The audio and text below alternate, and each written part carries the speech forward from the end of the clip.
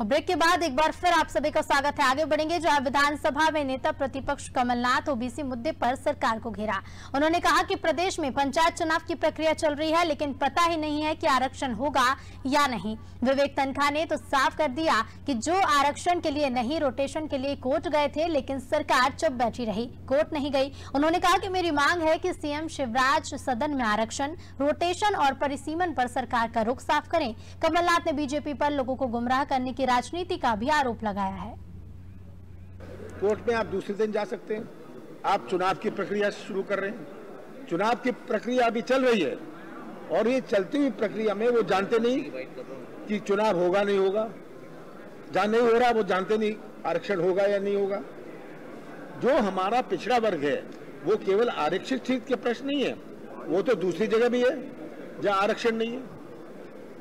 तो आज मेरी मांग तो यही है कि मुख्यमंत्री जी, आप सदन में आके रोटेशन की बात कर लीजिए परिश्रम की बात कह दीजिए और आरक्षण की बात कह दीजिए, ताकि पूरा प्रदेश, हर पंचायत को आप अवगत कराइए। सदन को तो कराइए, पर इससे हर पंचायत प्रदेश का, को भी जानकारी मिलेगी, वो भी तैयारी कर रहा है।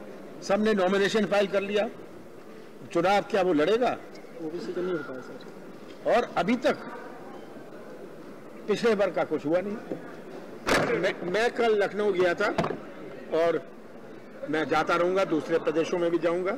अभी भी आगे जाने का प्रोग्राम है और जो कांग्रेस का संगठन वहाँ बहुत कमज़ोर था प्रियंका जी ने जो उत्साह पैदा किया है मैंने बहुत प्रदेशों का दौरा किया है। पर जो मैं देख रहा हूँ कि उत्तर प्रदेश में उत्साह है और जो महिलाओं खास करके महिलाओं जो जुड़ रही हैं कि मैं महिला हूँ, मैं लड़ सकती हूँ। ये मैंने प्रियंका जी को मध्य प्रदेश भी आमंत्रित किया है और जल्दी ही उनका प्रोग्राम बनेगा।